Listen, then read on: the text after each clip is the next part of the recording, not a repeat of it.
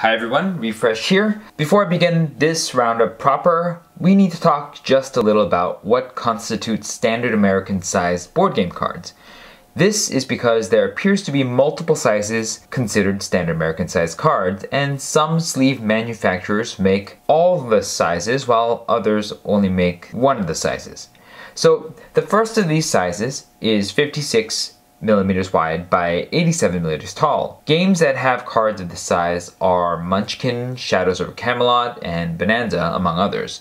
Manufacturers that make sleeves for cards of this size include BCW, Mayday Games, and Ultra Pro. At just slightly larger are cards that range from 57 millimeters to 58 millimeters wide by 89 millimeters tall. I've combined these two sizes because they vary only by the slimmest of margins, and games that have cards of this size include Arkham Horror, Citadels, and Cosmic Encounter, among others. The manufacturers that make sleeves for cards of this size are BCW, Fantasy Flight, Game Plus Products, Mayday Games, and Ultimate Guard. Before you purchase sleeves for your cards, you should be certain that they match the size of your standard American cards. Although if you don't mind a little extra space between the edges of your cards and the edges of the sleeves, you can always get the larger of the two standard American size sleeves.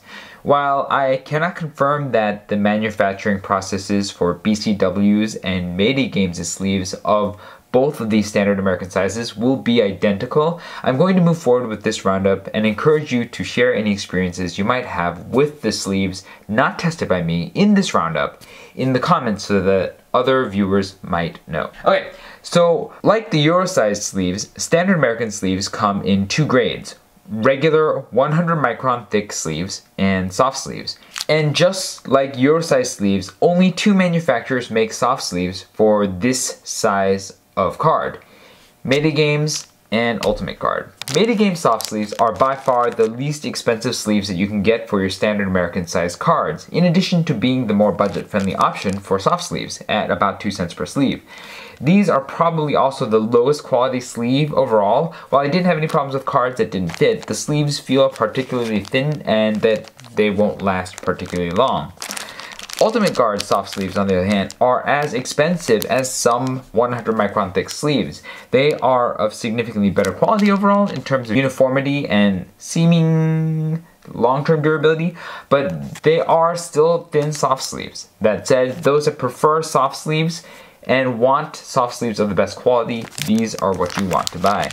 If you're looking for the highest quality 100 micron thick sleeves, then you will want to consider Fantasy Flight and Game Plus Products sleeves, both of which are roughly even in terms of overall uniformity, production quality, and apparent durability. Now of these sleeves, Fantasy Flight was the slowest sleeving and the fastest shuffle, while Game Plus Products trades shuffling performance for an easier sleeving process. Also worth noting is that Fantasy Flight has a particularly long sleeve resulting in, in a little extra space at the top of the sleeve between the opening of the sleeve and the top edge of the card.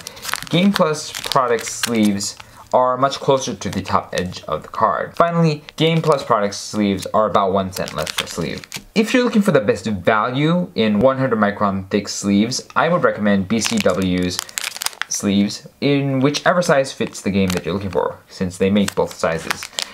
These sleeves are the least expensive among the 100 micron thick sleeves at 4 cents a sleeve and can be even less expensive if you buy in bulk. They're not as quality out of the package with a little bit of warping, but they perform about as well as the other manufacturer's sleeves and appear to be about as durable.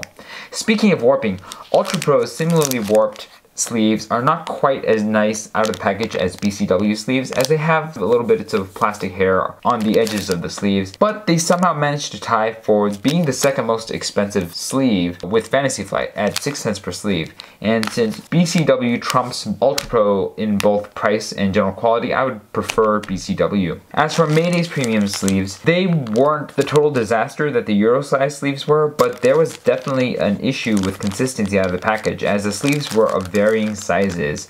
What's more, the package featured a misproduced double sleeve and was also short one sleeve. And this lack of quality assurance within just one pack means it's hard to predict whether or not a pack of these sleeves you buy will actually work for you. And I don't think the middle of the road MSRP for these sleeves will alleviate that risk.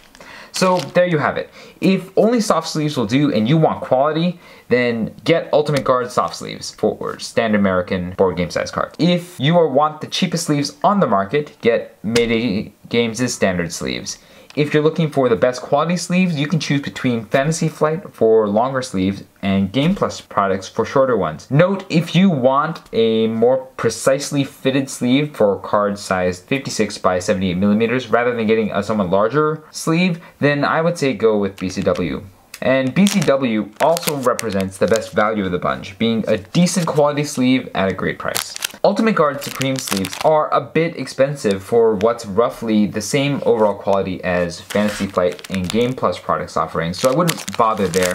And Mayday Games' premium sleeves suffer from quality control issues, and that risk is not worth spending money on, in my opinion. If you have any questions about any of these sleeves, you can feel free to ask me in the comments, and I have linked all the individual reviews of these sleeves in the description box below. If you have any experience with any of these sleeves, I've also linked a couple surveys in the description box below that you can click on and reply to with your experience with these sleeves in terms of consistency and durability.